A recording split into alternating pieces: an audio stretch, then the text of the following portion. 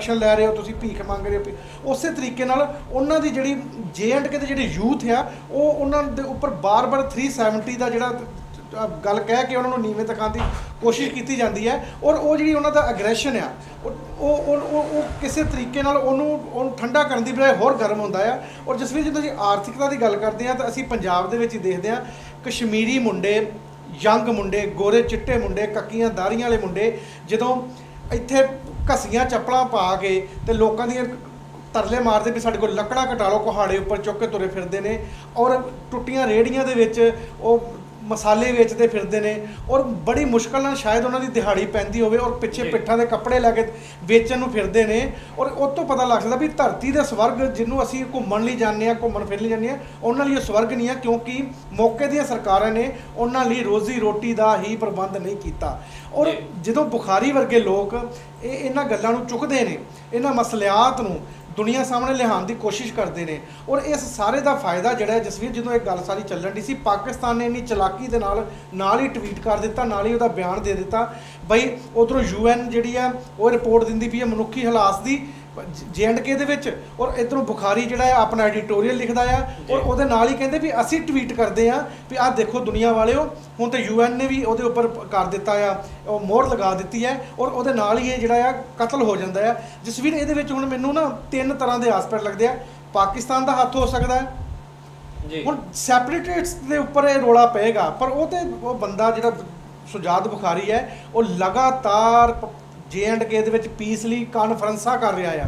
ਵੱਖ-ਵੱਖ ਧਿਰਾਂ ਨੂੰ ਲਿਆ ਕੇ ਉੱਥੇ ਬਿਠਾ ਰਿਹਾ ਆ ਉਹ ਟਰੈਕ 2 ਲੈਵਲ ਦੀ ਗੱਲਬਾਤ ਜਿਹੜੀ ਉਹ ਪਾਕਿਸਤਾਨ ਨਾਲ ਚਲਾ ਰਿਹਾ ਆ ਉਹ ਉਹ ਸਾਰੇ ਦੇ ਵਿੱਚ ਜਿਹੜੇ ਨਾ ਸ਼ੱਕ ਦੀ ਸੂਈ ਆਉਂਦੀ ਪਈ ਆ ਬਈ ਸੁਜਾਤ ਬੁਖਾਰੀ ਉਹਨਾਂ ਦੇ ਹੱਕ ਦੀ ਗੱਲ ਬੜੇ ਵਧੀਆ ਤਰੀਕੇ ਨਾਲ ਪੇਸ਼ ਕਰਿਆ ਫਿਰ ਵੱਖਵਾਦੀ ਜਾਂ ਉਹ ਲੋਕ ਜਿਨ੍ਹਾਂ ਨੂੰ ਵੱਖਵਾਦੀ ਕਿਹਾ ਜਾ ਰਿਹਾ। ਆ ਉਹ ਕਿਉਂ ਉਹਦਾ ਕਤਲ ਕਰਦੇ ਨੇ ਜਾਂ ਇਹਦੇ ਵਿੱਚ ਕੋਈ ਇਸ ਤਰ੍ਹਾਂ ਦੀ ਏਜੰਸੀ ਤਾਂ ਨਹੀਂ ਹੈਗੀ ਜਿਹੜੀ ਇਹ ਚਾਹੁੰਦੀ ਨਹੀਂ ਆ ਵੀ ਕੇ ਦੀ ਗੱਲ ਰੱਖੀ ਜਾਵੇ ਜਾਂ ਕੇ ਦੇ ਵਿੱਚ ਸ਼ਾਂਤੀ ਜਾਂ ਅਮਨ ਦੀ ਗੱਲ ਚੱਲ ਮਸਲਾ ਸਕੇ ਹੱਲ ਹੁੰਦਾ ਹੈ ਤੇ ਫਿਰ। ਦੋਨਾਂ ਮੁਲਕਾਂ ਦੀ ਜਿਹੜੀ ਸਿਆਸਤ ਹੈ ਇਹ ਤੋਂ ਇਨਕਾਰ ਨਹੀਂ ਕੀਤਾ ਜਾ ਸਕਦਾ ਪਾਕਿਸਤਾਨ ਦੀ ਸਿਆਸਤ ਵੀ ਜਿਹੜੀ ਕਸ਼ਮੀਰ ਨੂੰ ਲੈ ਕੇ ਚੱਲਦੀ ਹੈ ਭਾਰਤ ਦੀ ਸਿਆਸਤ ਵੀ ਕਸ਼ਮੀਰ ਨੂੰ ਲੈ ਕੇ ਚੱਲਦੀ ਹੈ ਫਿਰ ਦੋਨਾਂ ਮੁਲਕਾਂ ਦੇ ਵਿੱਚ ਇਹ ਸਿਆਸਤ ਬੰਦ ਹੋ ਜਾਏਗੀ ਫਿਰ ਲੋਕ ਮੁੱਦਿਆਂ ਵੱਲ ਮੁੜਨਾ ਪੈਗਾ ਇਹਨਾਂ। ਸਿਆਸਤਦਾਨਾਂ ਨੂੰ ਪਰ ਇੱਥੇ ਯੂਐਨ ਦੀ ਰਿਪੋਰਟ ਜਿਹੜੀ ਆ ਉਹਦਾ ਬਾਰ-ਬਾਰ ਜ਼ਿਕਰ ਛਿੜਦਾ ਹੈ ਦੇਸਰਾਜ ਕਾਲੀ ਦੀ। ਪਤਾ ਨਹੀਂ ਕਿਉਂ ਮੈਨੂੰ ਪਾਲੀ ਭੁਪਿੰਦਰ ਹੋਰਾਂ ਦੀ ਉਹ ਫੇਸਬੁੱਕ ਦੀ ਪੋਸਟ ਯਾਦ ਆ ਜਾਂਦੀ ਹੈ। ਉਹ ਥੋੜੇ ਦਿਨ ਪਹਿਲਾਂ ਸ਼੍ਰੀਨਗਰ ਘੁੰਮ ਕੇ ਆਏ, ਉਹਨਾਂ ਨੇ ਬਕਾਇਦਾ ਪੋਸਟ ਪਾਈ ਹੈ।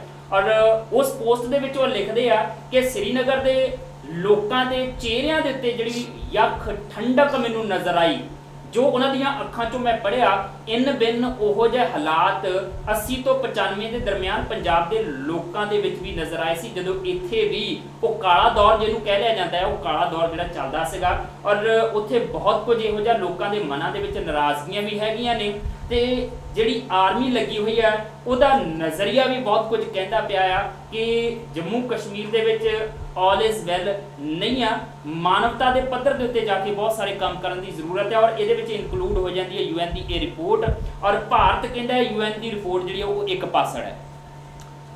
ਇਹ ਜਸਵੀਰ ਮੈਂ ਵੀ ਕਸ਼ਮੀਰ ਰਿਹਾ। ਕਈ ਵਾਰ ਮੈਨੂੰ ਜਾਣ ਦਾ ਮੌਕਾ ਮਿਲਿਆ। ਐਜ਼ ਰਾਈਟਰ ਬਹੁਤੀ ਵਾਰ ਮਿਲਿਆ। ਤੇ ਭਾਰਤੀ ਸਾਹਿਤ ਅਕਾਦਮੀ ਦਾ ਟਰਾਂਸਲੇਸ਼ਨ ਵਰਕਸ਼ਾਪ ਸੀ।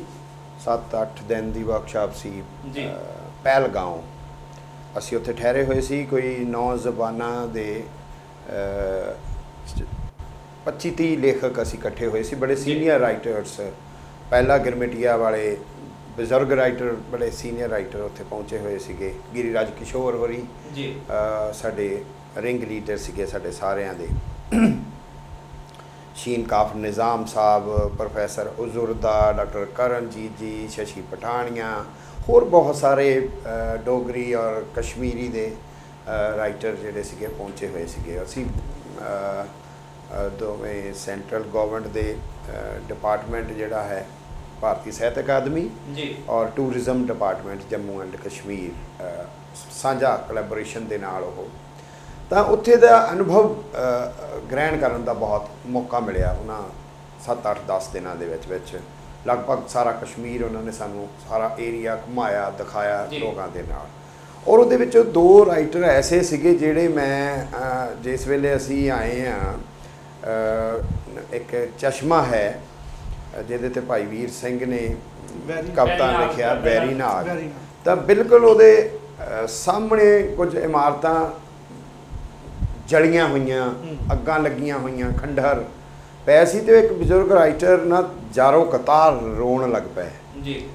ਕਹਿੰਦਾ ਯਾਰ ਕਦੇ ਇਸ ਚਸ਼ਮੇ ਨੂੰ ਉਹ ਸਾਹਮਣੇ ਸਾਡਾ ਮਕਾਨ ਸੀ ਉਹਦੇ ਉਹਦੇ ਉਹਦੀ ਬਾਰੀ ਦੇ ਵਿੱਚੋਂ ਦੀ ਤੱਕਦੇ ਹੁੰਦੇ ਸੀ ਔਰ ਇਹਦੀ ਆਵਾਜ਼ ਜਿਹੜੀ ਆ ਸਾਡੇ ਉੱਥੇ ਤੱਕ ਸੁਣਾਈ।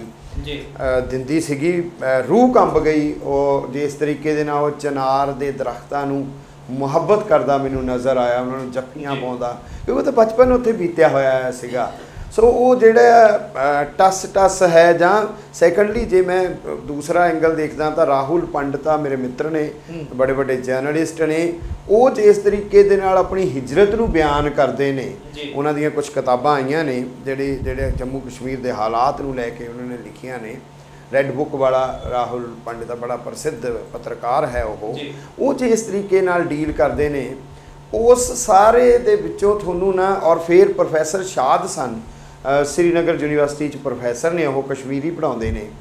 ਔਰ ਉਹਨਾਂ ਨੇ ਇੱਕ ਬਿਆਨ ਦੱਸਿਆ ਕਿ ਮੈਂ ਰਾਤ ਨੂੰ ਲੇਟ ਹੋ ਗਿਆ ਮੈਂ ਜਾ ਰਿਹਾ ਸੀ ਆਪਣੇ ਪਿੰਡ ਅਨੰਤਨਾਗ ਤੋਂ ਅੱਗੇ। ਉਹਨਾਂ ਦਾ ਕੋਈ ਪਿੰਡ ਸੀਗਾ ਰਾਸਤੇ ਦੇ ਵਿੱਚ ਮਿਲਟਰੀ ਨੇ ਪੱਥਰ ਰੱਖ ਕੇ ਰੋਕ ਲਾਈ ਹੋਈ ਸੀਗੀ। ਜੀ। ਤੇ ਉਹ ਸਾਰਾ ਦੱਸਣ ਤੋਂ ਬਾਅਦ ਉਹਨਾਂ ਨੇ ਆਪ ਪੱਥਰ ਨਹੀਂ ਹਟਾਇਆ। ਅੱਧੀ ਰਾਤ ਦਾ ਵੇਲਾ ਹੈ ਉਹ ਕਹਿੰਦੇ ਜੇ ਲੰਘਣਾ ਹੈ ਤਾਂ ਪੱਥਰ ਆਪੇ ਹਟਾ ਦੇ। ਫਿਰ ਗੱਡੀ ਲਗਾ ਲਈ ਤੇ ਪੱਥਰ ਉੱਥੇ ਹੀ ਫੇਰ ਕਰ ਦੇ ਔਰ ਉਹ ਜਿਸ ਤਰੀਕੇ ਦਾ ਫਿਰ ਉਹ ਲਹੂ ਲਹਾਨ ਹੋ ਗਿਆ ਜਿਵੇਂ ਜਿਵੇਂ ਦੀਆਂ ਉਹਨਾਂ ਨੇ ਗੱਲਾਂ ਦੱਸੀਆਂ। ਸੋ ਜਿਹੜਾ ਨਾ ਸੰਕਟ ਤਾਂ ਹੈ ਉੱਥੇ ਹੂੰ। ਪਰ ਉਹ ਸੰਕਟ ਫਿਰ ਮੈਂ ਕਹਿਣਾ ਚਾਹਾਂਗਾ ਕਿ ਉਹ ਸੰਕਟ ਪੋਲੀਟੀਕਲ ਹੈ। ਜੀ। ਉਸ ਸੰਕਟ ਪ੍ਰਤੀ ਨਾ ਸਾਡੀ ਕੇਂਦਰ ਸਰਕਾਰ ਨੇ ਤੇ ਨਾ ਉੱਥੇ ਦੇ ਜਿੰਨੇ ਵੀ ਉੱਥੇ ਦੀ ਲੀਡਰਸ਼ਿਪ ਆ ਉੱਥੇ ਦੀਆਂ। ਸਰਕਾਰਾਂ ਬਣ ਬਣਦੀਆਂ ਰਹੀਆਂ ਅਬਦੁੱਲਾ ਹੋਰਾਂ ਦੀ ਬਣਦੀ ਰਹੀ ਜਾਂ ਹੁਣ ਪੀਡੀਪੀ ਦੀ ਆ ਨੋ ਡਾਊਟ ਮਹਿਬੂਬਾ ਹੋਰੀ ਮੈਂ ਰੋਂਦੇ ਦੇਖੇ ਆਪਣਾ ਵਰਜਨ ਨਾ ਸੀ ਦੇ ਹੋ ਰਿਹਾ ਉਹਨਾਂ ਨੂੰ। ਸ਼ੁਜਾਤ ਬੁਖਾਰੀ ਹੋਰਾਂ ਦੀ ਦੇ ਕਤਲ ਨੂੰ ਲੈ ਕੇ ਉਹ ਵਰਜਨ ਦੇ ਨਹੀਂ ਪਾਏ ਆਪਣਾ ਮੀਡੀਆ ਨੂੰ। ਪਰ ਸਵਾਲ ਫਿਰ ਉਹਨਾਂ ਨੂੰ ਜਾਂਦਾ। ਕਿ ਭਾਈ ਫਿਰ ਇਹ ਅੱਤਵਾਦੀਆਂ ਨੂੰ ਰੋਕੂਗਾ ਕੌਣ? ਜੇ ਤੁਸੀਂ ਵਰਜਨ ਦੇਣ ਦੇ ਕਾਬਲ ਨਹੀਂ। ਯੈਸ ਯੈਸ ਰੋਣਾ ਕੱਲਾ ਜਿਹੜਾ ਹਾਂ ਤੁਹਾਡੇ ਦੁੱਖ ਦਾ ਨਿਸਤਾਰਾ ਤਾਂ ਥੋੜਾ ਬਹੁਤਾ ਕਰ ਸਕਦਾ ਤੁਹਾਨੂੰ ਢਾਲਸ ਤਾਂ ਦੇ ਸਕਦਾ ਰੋਣਾ ਪਰ ਸਮੱਸਿਆ ਦਾ ਹੱਲ ਰੋਣਾ ਨਹੀਂ ਹੋਏਗਾ ਸਮੱਸਿਆ ਦਾ ਹੱਲ ਤੁਹਾਨੂੰ ਆਪ ਕੱਢਣਾ ਪਏਗਾ ਤੁਸੀਂ ਮੁੱਖ ਮੰਤਰੀ ਹੋ। ਹੱਲ. ਤੁਹਾਨੂੰ ਕੱਢਣਾ ਪਏਗਾ ਕੇਂਦਰ ਸਰਕਾਰ ਨਾਲ ਮਿਲ ਕੇ ਤੁਹਾਨੂੰ ਉਹ ਵੱਖ-ਵੱਖ ਧਿਰਾਂ ਜਿਹੜੀਆਂ ਜੰਮੂ ਕਸ਼ਮੀਰ ਦੇ ਵਿੱਚ ਆਪੋ ਆਪਣਾ ਰਾਗ ਅਲਾਪਦੀਆਂ ਪਈਆਂ ਉਹਨਾਂ ਨੂੰ ਇੱਕ ਮੰਚ ਦੇ ਉੱਤੇ ਲਿਆ ਕੇ ਉਹਨਾਂ ਨੂੰ ਕੋਈ ਸਾਂਝਾ ਕੋਈ ਪ੍ਰੋਗਰਾਮ ਦੇ ਕੇ ਉਹ ਸਾਰੇ ਹਾਲਾਤ ਪੈਦਾ ਕਰਨੇ ਪੈਣਗੇ ਜਿਨ੍ਹਾਂ ਹਾਲਾਤਾਂ ਦੇ ਵਿੱਚ ਜਿਹੜਾ ਆਮ ਆਵਾਮ ਹੈ ਜੰਮੂ ਕਸ਼ਮੀਰ ਦਾ ਉਹ ਘੱਟੋ ਘੱਟ ਆਪਣੇ ਆਪ ਨੂੰ ਸੁਰੱਖਿਅਤ ਵੀ ਮਹਿਸੂਸ ਕਰੇ ਤੇ ਆਪਣਤ ਮਹਿਸੂਸ ਕਰੇ ਭਾਰਤ ਦੇ ਨਾਲ। ਉਹਨੂੰ ਨਾ ਲੱਗੇ ਕਿ ਮੈਂ ਦੋਇਮ ਦਰਜੇ ਦਾ ਨਾਗਰਿਕ ਜਿਹੜਾ ਹੈ ਉਹ ਭਾਰਤ ਦੇ ਵਿੱਚ ਬਣ ਗਿਆ ਜਿੱਦਾਂ ਬਣਾ ਦਿੱਤਾ ਜਾਂਦਾ। ਜਿਵੇਂ ਆਨੰਦ ਹੋਰਾਂ ਨੇ ਧਾਰਾ ਦੀ ਗੱਲ ਕੀਤੀ ਹੈ ਕਿ ਉਹਦੇ ਮੁਤਾਬਕ ਜਿਹੜਾ ਉਹਨੂੰ ਵਖਰਿਆ ਦਿੱਤਾ ਜਾਂਦਾ ਹੈ। ਸੋ ਉਹ ਸਾਰੀਆਂ ਚੀਜ਼ਾਂ ਜਿਹੜੀਆਂ ਉਹ ਖਤਮ ਹੋ ਜਾਣ ਤੇ ਇੱਕ ਸੁਖਾਵਾਂ ਮਾਹੌਲ ਜਿਹੜਾ ਹੈ ਉਹ ਬਣ ਸਕੇ ਜੰਮੂ ਕਸ਼ਮੀਰ ਦੇ ਵਿੱਚ। ਮੁੜ ਕਿਸੇ ਸ਼ੁਜਾਤ ਬੁਖਾਰੀ ਨੂੰ ਆਪਣੀ ਜਾਨ ਨਾ ਗਵਾਉਣੀ ਪਵੇ। ਫਿਲਹਾਲ ਛੋਟੀ ਜਿਹੀ ਬ੍ਰੇਕ ਲੈ ਲੈਂਦੇ ਹਾਂ ਬ੍ਰੇਕ ਤੋਂ ਬਾਅਦ ਫਿਰ ਮਿਲਦੇ ਹਾਂ। ਦੇਖਦੇ ਰਹੋ ਚੱਕਦੇ ਰਹੋ।